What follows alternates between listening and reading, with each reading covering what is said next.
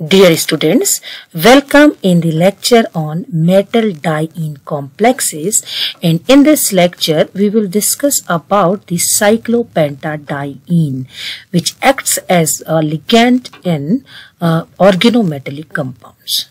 Okay?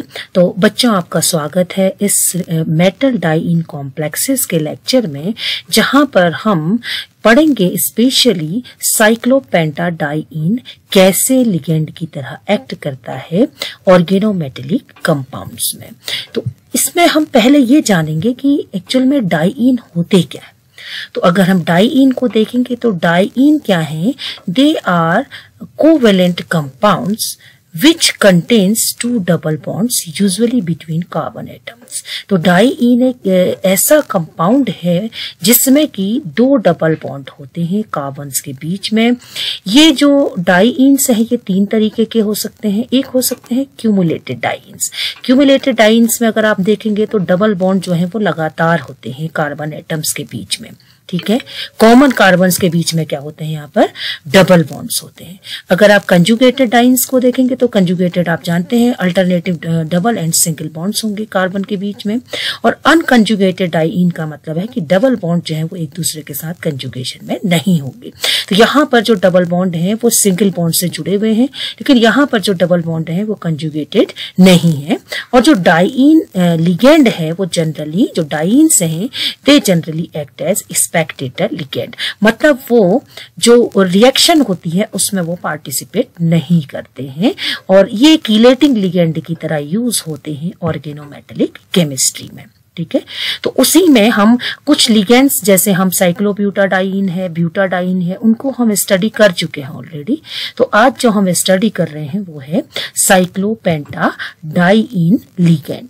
तो cyclopenta cyclopentadiene ligand को अगर हम देखेंगे तो उसका जनरल फॉर्मूला क्या है? सी फाइव सी सिक्स मतलब अगर हम साइक्लोपेंटा साइक्लोपेंटाडाइनाइल में एक एच एड कर दें ये जो साइक्लोपेंटाडाइन लिगेंड है, इसको हम सी पी एच से भी लिखते हैं, उससे दिखाते हैं और सी फाइव एच सिक्स भी हमें इसे कह सकते हैं। रूम टेम्परेचर पर generally it dimerizes via Diels Alder reaction Diels Alder के रिएक्शन के थ्रू ड्राइमराइज हो जाता है, बहुत स्टेबल नहीं है और ये क्या बनाएगा? डाईसाइक्लोपेंटा डाइइन बना देगा। और ये किसका प्रिकर्शर होता है? साइक्लोपेंटा डाई का। साइक्लोपेंटाडाइनाइल का प्रिकर्सर कहलाता है, जो साइक्लोपेंटाडाइन होता है। और जनरली ये जो है, किसमें यूज़ होता है? मेटेलोसीन्स को प्रिपेयर करने के लिए। मेटेलोसीन्स, जिन्हें हम पहले पढ़ चुके हैं, यानी कई तरीके की हो सकती हैं। उसमें ये जो कंपाउंड है, ये क्या है? ये मेटेलोसीन जो है, ये सैंडविच टाइप की मेटेलोसीन है। तो ये इस तरीके के कंपाउंड बनाने के लिए हम साइक्लोपेंटाडाइन के सॉल्ट को ले सकते हैं। अगर हम साइक्लोपेंटाडाइन कॉम्प्लेक्सेस के सिंथेसिस को देखें तो वो कैसे सिंथेसाइज हो सकता है? ठीक है? तो यहाँ आप देखेंगे organometallic compound with both ligands CPH and CP minus तो अगर एक लिगेंड एक कंपाउंड जिसमें कि ये दोनों तरीके के लिगेंड हैं, उसको हम कैसे बना सकते हैं? ठीक है? तो ये एक साइक्लोपेंटा डाइनिल कंपाउंड है डाई डाइन कंपाउंड है, जहाँ पर आप देखेंगे जो रोडियम है, ये रोडियम के एक साइड तो सीपी है। सीपी माइनस यानी साइक्लोपेंटाडाइनाइल रिंग और दूसरी साइड इसमें क्या है? सीपीएच तो ये एक साइक्लोपेंटाडाइन कॉम्प्लेक्स है और इसमें साइक्लोपेंटाडाइनाइल भी है साइक्लोपेंटाडाइन भी है। तो ये जो कॉम्प्लेक्स का सिंथेसिस है, वो हम कैसे कर सकते हैं? हम रोडोसिन लेंगे। रोडोसिन मीन्स एक मेटलोसिन है, जहाँ पर रोडियम के सैंडविच है in between two cyclopentadienyl rings और ये एक 19 इलेक्ट्रॉन सिस्टम है। 19 इलेक्ट्रॉन सिस्टम रूम टेम्परेचर पर ये जो है, वो किसमें कन्वर्ट हो जाता है? देखिए, ये डाइमर में कन्वर्ट होता है। इसका रोडोसिन का डाइमर बन गया। और रोडोसिन के डाइमर में आप देखेंगे कि एक रोडियम के एक और कौन है? साइक्लोपेंटाडाइनाइल और दूसरी ओर साइक्लोपेंटाडाइन और ये जो साइक्लोपेंटाडाइन है, ये दूसरे साइक्लोपेंटाडाइन से जुड़ी हुई है। और फिर आप देखें, जो रोडियम है, उसके दूसरी साइड क्या है? साइक्लोपेंटाडाइनाइल जो इसका जो रिएक्टिंग स्पीसीज है रोडोसिन यहाँ पर आप देखेंगे, जो ये जो साइक्लोपेंटाडाइनाइल है, ये ईटा फाइव है। ये भी ईटा फाइव है। लेकिन यहाँ आप देखेंगे कि ये जो साइक्लोपेंटाडाइनाइल है, ये ये ईटा फाइव है सिक्स इलेक्ट्रॉन डोनर ये है, और यहाँ पर ये क्या है फोर इलेक्ट्रॉन डोनर है।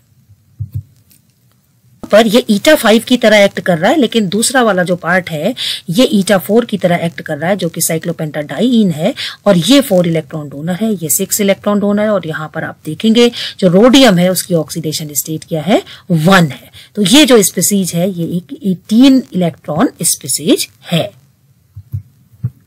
अब देखेंगे ये जो साइक्लोपेंटाडाइन कॉम्प्लेक्स है, ये minus one ninety six degree minus one ninety six degree centigrade पर वापस क्या बना देता है?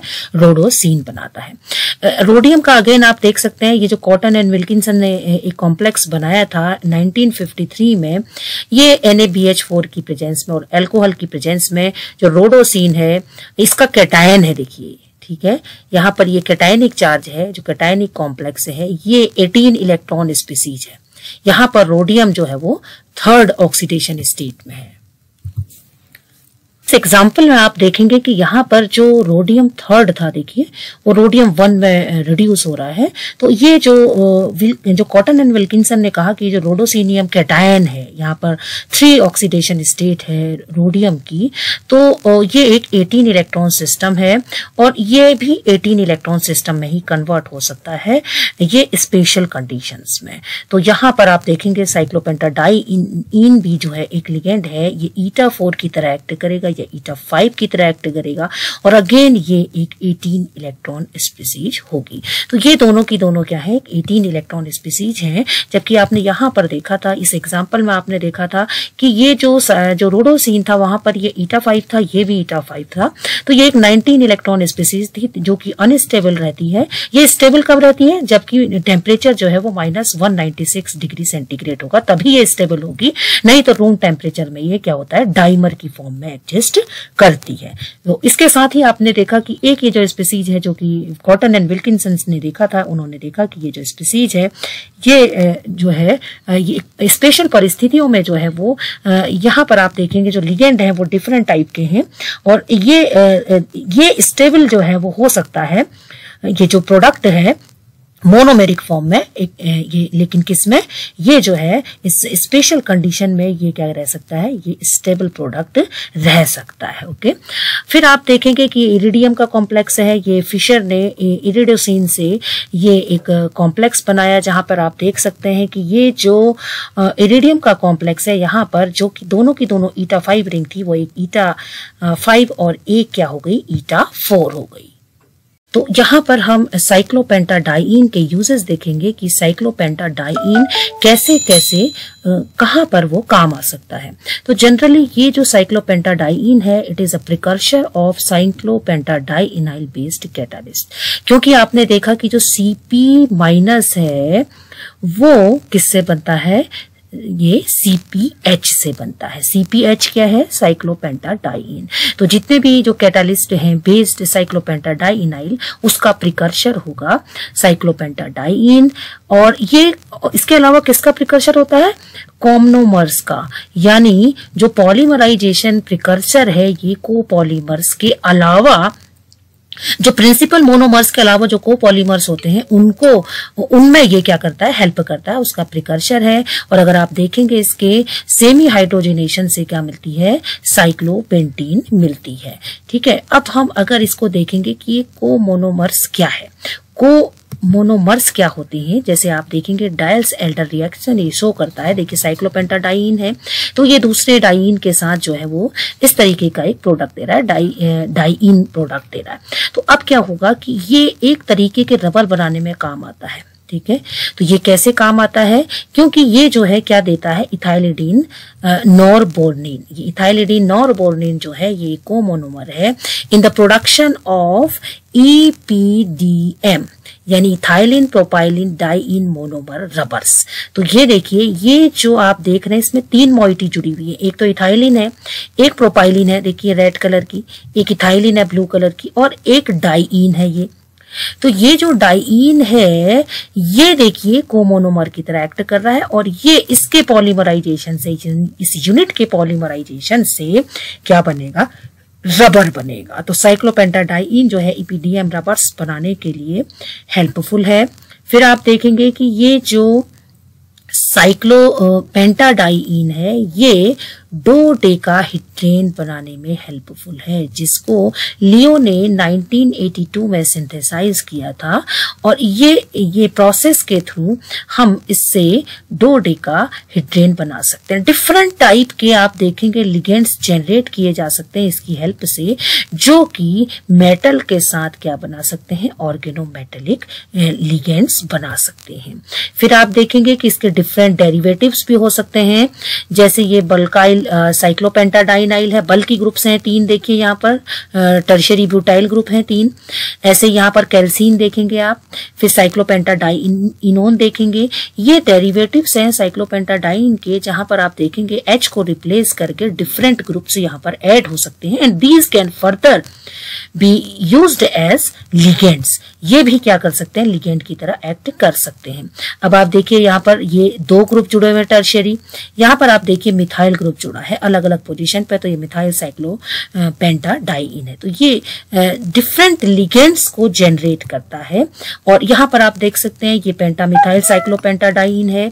ये पेंटा साइक्लो साइनो साइक्लोपेंटाडाइन है। तो सारे के सारे जो एच है वो रिप्लेस हो गए। तो इस तरीके से आप देखेंगे डिफरेंट टाइप की जो लिगेंड्स हैं, वो जनरेट होते हैं with the help of cyclo penta cyclopentadiene जो साइक्लोपेंटाडाइनाइल है जो साइक्लोपेंटाडाइन जो लिगेंड है it is also helpful in the synthesis of cyclopentadienyl complexes तो ये जो साइक्लोपेंटाडाइन है, ये साइक्लोपेंटाडाइनाइल कॉम्प्लेक्सेस को बनाने में भी हेल्पफुल है, क्योंकि आप देखेंगे कि ये जो साइक्लोपेंटाडाइन है, इसका अगर हम डीप्रोटोनेशन करें, in presence of potassium hydride और मेटल है देखिए सोडियम है तो इनकी प्रेजेंस भी ये क्या करेगा, यहाँ से एच निकल जाएँगे डीप्रोटोनेशन किया। तो हमें ये एनएसीपी मिल गया साइक्लोपेंटाडाइनाइल मिला। और ये जो साइक्लोपेंटाडाइनाइल है, ये फिर क्या फॉर्म कर सकता है? ये देखिए, ये किसी दूसरे ऑर्गेनोमेटेलिक कंपाउंड के साथ रिएक्ट करके साइक्लोपेंटाडाइनाइल कॉम्प्लेक्स का फॉर्मेशन कर सकता है। तो आप देख सकते हैं कि एक प्रिकर्सर है, जिससे कि साइक्लोपेंटाडाइनाइल कॉम्प्लेक्सेस बनाए जा सकते हैं। अब आप देखेंगे यहाँ पर देखिए डाई साइक्लोपेंटा डाई इन लिया है, यानी डाइमर है इसका, जो साइक्लोपेंटाडाइन का डाइमर है, ये डाइमर जो है जब FeCO5 से रिएक्ट करता है तो ये क्या बनाता है? C P F E C O two whole twice तो ये इसका डाइमर बनाता है, जिसका स्ट्रक्चर आपको मैं दिखाऊँगी। इस तरीके से ये हम स्ट्रक्चर बनाएँगे एफ़ ई सी ओ सी ओ ठीक है एफ़ ई ये सी ओ देन साइक्लोपेंटाडाइनाइल है साइक्लोपेंटाडाइनाइल एंड सीओ तो ये इस तरीके का जो जो हमारे पास एक ऑर्गेनोमेटलिक कंपाउंड है साइक्लोपेंटाडाइनाइल का, वो बन सकता है with the help of cyclopentadiene तो आपने देखा कि जो साइक्लोपेंटाडाइन है, वो किस तरीके से इंपॉर्टेंट है साइक्लोपेंटाडाइनाइल कॉम्प्लेक्सेस बनाने के लिए भी। रिवाइज दिस वीडियो लेक्चर हम इसको रिवाइज करेंगे कि हमने इसमें क्या पढ़ा, क्योंकि एक बहुत छोटा सा टॉपिक है, जहाँ पर हम डाइंस के बारे में पहले ही पढ़ चुके थे ऑलरेडी और अब यहाँ पर हम केवल डिस्कस करना चाह रहे हैं साइक्लोपेंटाडाइन कॉम्प्लेक्सेस के बारे में, या साइक्लोपेंटाडाइन जो लिगेंड है उसके बारे में, कि ये किस तरीके से एक्ट करता है।